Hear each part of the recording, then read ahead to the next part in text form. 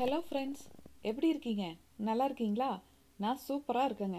இன்னைக்கு நம்ம தீபாவளிக்கு ஜாங்கிரி எப்படி செய்யலான்னு பார்க்கலாங்க. ஜாங்கிரி சுற்றுறது வந்து ரொம்ப கஷ்டமாச்சே அப்படின்னு நினைக்காதீங்க. நம்ம மாவை வச்சு நம்ம கொஞ்சம் நேரம் ப்ராக்டிஸ் பண்ணிக்கலாம். அப்படியே ப்ராக்டிஸ் பண்ணி வரலையா? அதனால் என்னங்க? ஜாங்கிரி ஷேப்பு கொஞ்சம் அப்படி இப்படி இருந்தால் டேஸ்ட்டு கம்மியாகவா போகுது? இதுக்கு வேணுங்கிற இன்க்ரீடியன்ட்ஸ் கீழே டிஸ்கிரிப்ஷன் பாக்ஸில் கொடுத்துருக்கேன். பார்த்துக்கோங்க. முதல்ல ஒரு கப்பு உளுந்து எடுத்து நல்லா கழுவி ஊற வச்சுக்கோங்க. ஒரு டூ டு த்ரீ ஹவர்ஸ் ஊறுனா போதுங்க. அதுக்கப்புறம் கிரைண்டரில் தண்ணி இல்லாமல் போட்டுட்டு அப்பப்போ லேசாக தண்ணி தொளித்து உளுந்து வடைக்கு அரைக்கிற அதே பதத்தில் அரைச்சிக்கோங்க. மீறி போனால் இதுக்கு ஹாஃப் கப் வாட்டர் வேணுங்க. அவ்வளோதான் வேணும்.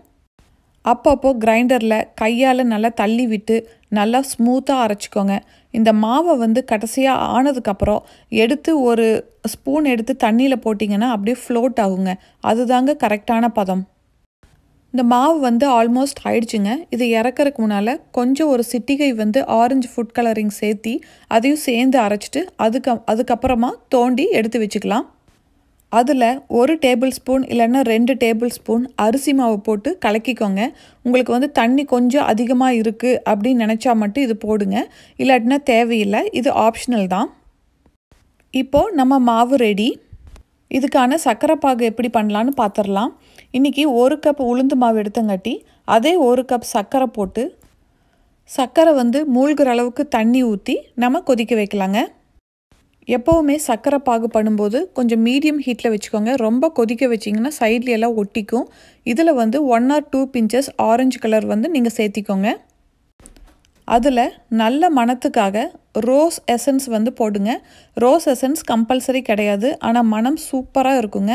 அப்படி இல்லாதவங்க ஏலக்காய் சேர்த்திக்கோங்க. அதுவே நல்லாயிருக்கும் இதுக்கு சர்க்கரை பாகு வந்து கம்பி பதமெல்லாம் வர வேண்டியது இல்லைங்க ஒரு கம்பி பதத்துக்கு முன்னால் ஸ்டேஜ்லேயே நம்ம எடுத்துடலாம். சர்க்கரை பாகை டேஸ்ட் பண்ணி பார்த்தும் கூட கரெக்டாக கண்டுபிடிச்சிடலாங்க நம்ம சர்க்கரை பாகும் இப்போ ரெடி இப்போது மாவு புளியிருக்கான ஜிப்லாக் கவரை வந்து நம்ம ரெடி பண்ணிக்கலாம். உங்கள் ஜிப்லாக் கவர் வந்து ரொம்ப தின்னாக இருந்துச்சுன்னா என்னோடது ஆக்சுவலாக வந்து ரொம்ப திக்காக தான் இருக்குது பட் உங்களுக்காக நான் காமிக்கிறேன் ரொம்ப தின்னாக இருந்துச்சுன்னா இந்த ஓரத்தில் ஒரு செல்லோ டேப்பை இப்படி ஒட்டிட்டு அதுக்கப்புறமா கட் பண்ணிங்கன்னா அந்த இடத்துல நல்லா ஸ்ட்ராங்காக இருக்குங்க.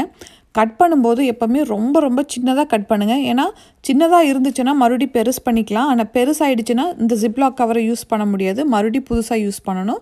So first start cutting small இப்போது ஒரு ரெண்டு மூணு கரண்டி மாவு எடுத்து ஜிப்லாக் கவரில் போட்டுட்டு அதை வந்து பிழிஞ்சு பாருங்கள் இந்த மாவுக்கு மேலேயே வந்து நீங்கள் ஜாங்கிரியை வந்து சுற்றி பாருங்கள் எப்படி வருது அப்படின்னு சொல்லி. ஸோ அதுபடி நீங்கள் ப்ராக்டிஸ் பண்ணிக்கலாம். இந்த மாதிரி உங்களுக்கு வந்து கம்ஃபர்டபுளாக ஆகிற வரைக்கும் நீங்கள் சுற்றி பாருங்கள் ஸோ அதுக்கப்புறம் நீங்கள் வந்து எண்ணெயில் வந்து டைரெக்டாக போட்டுக்கலாம். இந்த ஜாங்கிரி புளியருக்கு வந்து எண்ணெய் வந்து மோஸ்ட் ஆஃப் ஃப்ளாட்டான பாத்திரத்தில் வச்சுக்கோங்க. கிட்டத்தட்ட பேனெல்லாம் இருக்குது இல்லைங்களா? அந்த மாதிரி பேனில் ஒரு அரை இன்ச் இல்லைன்னா ஒரு இன்ச் எண்ணெய் இருக்கிற வரைக்கும் பார்த்துக்கிட்டிங்கன்னா உங்களுக்கு ஜாங்கிரி சுற்றுறது ரொம்ப ஈஸியாக இருக்குங்க. ஜாங்கிரி ஷேப் வந்து ரொம்ப பர்ஃபெக்டாக வரலனால கவலைப்படாதீங்க. ஏன்னா மினி ஜாங்கிரியெல்லாம் பார்த்தீங்கன்னா இந்த மாதிரி இருக்காது. கொஞ்சம் அது டிஃப்ரெண்ட்டாக இருக்கும் இல்லைங்களா? உங்களுக்கு எப்படி வருதோ அந்த மாதிரி நீங்கள் புரிஞ்சுக்கோங்க ஜாங்கிரியோட டெக்ஸ்டருக்கும் டேஸ்ட்டுக்கும் இந்த ரெசிபி கேரண்டி கொடுக்குங்க. ஜாங்கிரி ஒரு பக்கம் வெந்தோடனே இன்னொரு பக்கம் திருப்பி போடுங்க. ரெண்டாவது பக்கம் திருப்பி போட்டதுக்கப்புறம் பபுள்ஸ் எல்லாம் ஆல்மோஸ்ட் அடங்கிருங்க. அந்த ஸ்டேஜில் கிட்டத்தட்ட வந்து கிறிஸ்பியாக இருக்கும். நீங்கள் அந்த ஸ்டேஜில் எடுத்து உடனே நாம் செஞ்சு வச்சுருந்த பாகில் போட்டு முக்கி எடுத்துட்டு ஒன்ஸ் ட்வைஸ் ரெண்டு பக்கம் திருப்பி போட்டுட்டு உடனே வெளியே எடுத்து வச்சுருங்க. இந்த ஜாங்கிரி வந்து ரொம்ப நேரம் பாகில் ஊறணுங்கிற அவசியம் கிடையாதுங்க. என்னங்க நீங்களும் ட்ரை பண்ணலான்னு உங்களுக்கு தோணுதா? செஞ்சு தான் பாருங்களேன் எப்படி தான் வருதுன்னு பார்க்கலாம். இதே மாதிரி மீதி இருக்கிற மாவையெல்லாம் ஒவ்வொரு அடசலாக நீங்கள் பிழிஞ்சு சுட்டு பாகில் போட்டு எடுத்துக்கோங்க. இந்த ஜாங்கிரியை இந்த தீபாவளிக்கு நீங்கள் செஞ்சு பாருங்கள் கண்டிப்பாக என்ஜாய் பண்ணுவீங்க. இந்த ப்ராசஸும் என்ஜாயபுளாக இருக்கும். நீங்கள் செஞ்சு பார்த்துட்டு எப்படி வந்துச்சுன்னு சொல்லி கமெண்ட் செக்ஷனில் சொல்லுங்கள் வீடியோ பிடிச்சிருந்துச்சுன்னா லைக் பண்ணுங்கள் சப்ஸ்கிரைப் பண்ணிவிட்டு பெல் பட்டனை கிளிக் பண்ணிக்கோங்க. ஹாப்பியாக இருங்க. ஹெல்த்தியாக இருங்க. என்ஜாய் பண்ணுங்கள் நீங்கள் பண்ணுறது தாங்க ஜாங்கிரி.